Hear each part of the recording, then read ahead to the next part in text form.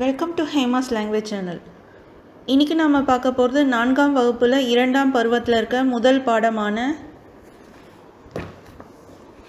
காவல்காரர் அந்த பாடத்தை பார்க்க போகிறோம் நாம் அந்த லெசன் போகிறதுக்கு முன்னாடி நம்ம சேனல் யாராவது சப்ஸ்கிரைப் பண்ணாமல் இருந்தால் சப்ஸ்கிரைப் பண்ணிவிடுங்க இப்போ லெசனுக்குள்ளே போகலாம் இப்போ முதல்ல பார்க்க போகிறது சரியான சொல்லை தெரிவு செய்து எழுதுவோமா?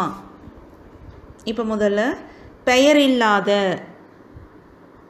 இச்சொல்லை பிரித்து எழுத கிடைப்பது. பெயர் கூட்டல் இல்லாத. வைக்கோல் மேலே துணியை சுற்றி வைத்திருக்கும் பொம்மை தொடரில் அடிக்கோடிட்ட சொல்லின் எதிர்ச்சொல் அதாவது மேலே அப்படின்றதுக்கான எதிர்ச்சொல் கீழே. சோளக்கொல்லை பொம்மை என்பது உயிரற்ற பொருள். அடுத்து அசைய கூட்டல் இல்லை. அசையவில்லை. நித்தம் இச்சொல்லுக்குரிய பொருள் நாளும். அடுத்து வினாக்களுக்கு விடையளிக்க. தோட்டத்தின் நடுவே ராஜா போல் நின்றவர் யார்? யார்ன்றதை மட்டும் சர்க்கிள் பண்ணிவிட்டு காவல்காரர்.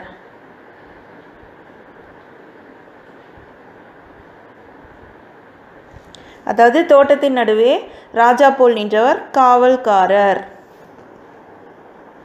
ஆவார். ஒரு சென்டென்ஸ் கம்ப்ளீட் பண்ணும்போது ஆவார் ஆகும் அந்த மாதிரி கம்ப்ளீட் பண்ணணும். காவல்காரருக்கு தோட்டத்தில் உள்ள பணியாது. அதாவது காவல்காரருக்கு தோட்டத்தில் உள்ள பணியாவது காக்கை. அதாவது ஃபுல்லாக எழுதணும்னு சொன்னாங்கன்னா ஸ்கூலில் அந்த மாதிரி எழுதலாம். இல்லை ஷார்ட்டாக எழுதணுன்னா வெறுமனே ஆன்சர் மட்டும் கூட எழுதலாம். காக்கை குருவிகள் வராமல் தடுப்பது.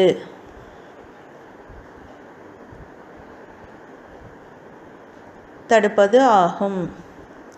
அதாவது காக்கை குருவிகள் வராமல் தடுப்பது ஆகும். அடுத்து மூணாவது கேள்விக்கு போகலாம் பொம்மைக்கு கருப்பு கோட்டு வெள்ளை சட்டை கொடுத்தது யார்? யார் மட்டும் எடுத்துட்டு? க பொம்மைக்கு கருப்பு கோட்டு வெள்ளை சட்டை கொடுத்தது காகம். காகம் ஆகும். அடுத்து காகம் கொடுத்த ஆடைகளை காவல்காரர் ஏன் அணியவில்லை? ஏனென்றால் அது சோளக்காட்டு பொம்மையாகும்.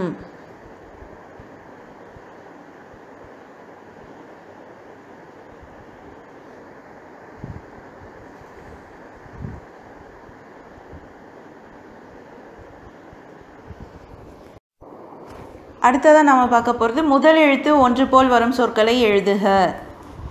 அதில் அவங்க சட்டை சரிகை அதை கொடுத்துருக்காங்க. இது எப்படின்னா முதல் எழுத்து ஒன்று போல் வந்துச்சுன்னா அதை மோனை அப்படின்னு சொல்லுவாங்க. நம்ம இப்போ போயம்லேருந்து நான் எடு எப்படி எடுக்கிறதுன்னு சொல்கிறேன் செகண்ட் பேஜில் இருக்கிறதுலேருந்து நான் எடுத்து காமிக்கிறேன். எப்படி எடுக்கணுன்னா கூவி கூட அப்படின்ட்டு இருக்குங்களா? இப்போ இந்த கூவும் கூவும் சேமாக இருக்குது அப் அதனால் இது முதல் எழுத்து ஒன்று வருது. அதே மாதிரி காவல் காலை அதாவது இது ஒரு செட்டு இது ஒரு செட்டு அடுத்து வைக்கோலை வை வைத்திருக்கும் வைக்கோல் வைத்திருக்கும் இது ஒரு செட்டு உடனே உற்று இது ஒரு செட்டு இந்த மாதிரி நம்ம அந்த பாடல்லேருந்து எடுத்து எழுதணுங்க. இப்போ நாம் எழுதலாம்.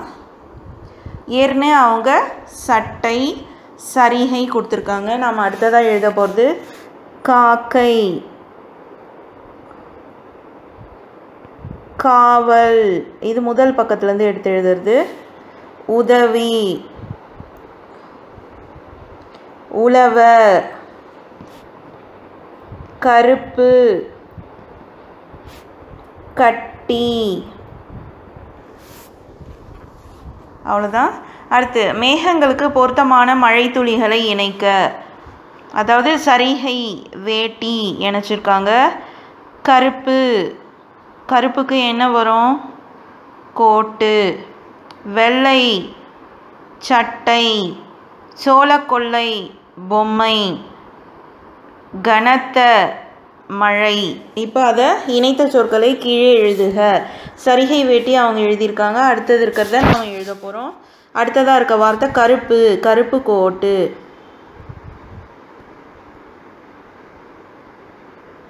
அடுத்ததாக வெள்ளை இருக்குங்களா? வெள்ளை சட்டை.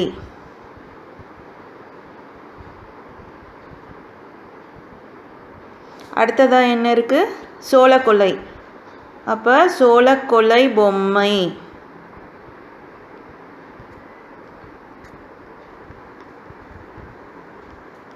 அடுத்ததா கனத்த. கனத்த மழை. ஆச்சு? அடுத்து. அடுத்து உரைநடை பகுதியை படித்து வினாக்களுக்கு விடை எழுதுக. நமக்கு பயன் தரும் பல மரங்களுள் வாழையும் ஒன்று. வாழையின் பூ காய் கனி தண்டு ஆகியவற்றை நாம் சமைத்து உண்கிறோம். வாழை நாரை கொண்டு பூக்களை தொடுக்கிறோம். திருமண விழாக்களிலும் வீட்டில் நடைபெறும் விழாக்களிலும் வாழை இலையில் விருந்து படைக்கின்றனர். வாழையில் செவ்வாழை பூவன் வாழை மலைவாழை என பல வகைகள் உள்ளன. இப்போ கொஷின்ஸ் கேட்டிருக்காங்க. இது பேராஃப் மாதிரி இருக்கும் அது கீழே கொஷின்ஸ் இருக்கும். இப்போ வினாக்கள். வாழையின் எப்பகுதிகள் உணவாக பயன்படுகின்றன? அதுக்கு நம்ம இங்கே இருக்குது வாழையின் பூ காய் கனி தண்டு ஆகியவற்றை நாம் உணவாக பயன் உணவாக பயன்படுத்துகிறோம். தண்டு வரையும் எழுதிட்டு ஆகியவற்றை அப்படின்னு எழுதிட்டு உணவாக பயன்படுத்துகின்றோம். அப்படின்னு சொன்னோம்னா ஃபஸ்ட் கொஷினுக்கு ஆன்சர் ஓவர் ஆகிடும்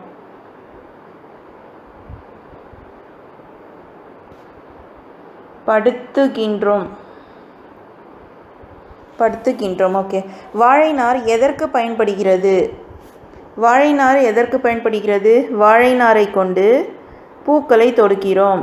இது செகண்ட் கொஷின் அதுக்கான இப்போ தேர்ட் கொஷின் வாழையின் வகைகளுள் இரண்டை எழுதுக. அதுக்கு ஆன்சர் மட்டும் கூட எழுதலாம். சிம்பிளாக எழுதுறதுனாக்கா இல்லை இதில் இருந்து எழுதுனா கொஞ்சம் பெருசாக இருக்க மாதிரி இருக்கும். செவ்வாழை பூவன் வாழை. இங்கிருந்து இது வரையும் எழுதலாம். தேர்ட் கொஷின் அடுத்து வாழை இலை இச்சொல்லை பிரித்து எழுதுக. வாழை கூட்டல் இலை. அடுத்து பல வகை இச்சொல்லுக்கு எதிர்ச்சொல் பலக்கு ஆப்போசிட்டு சில. சில வகை. அவ்வளோதான் முடிஞ்சிச்சு. நெக்ஸ்ட் கிளாஸ் பார்க்கலாங்க. இந்த வீடியோ உங்களுக்கு பிடிச்சிருந்துச்சுன்னா லைக் பண்ணுங்கள் ஷேர் பண்ணுங்கள் சப்ஸ்கிரைப் பண்ணுங்கள்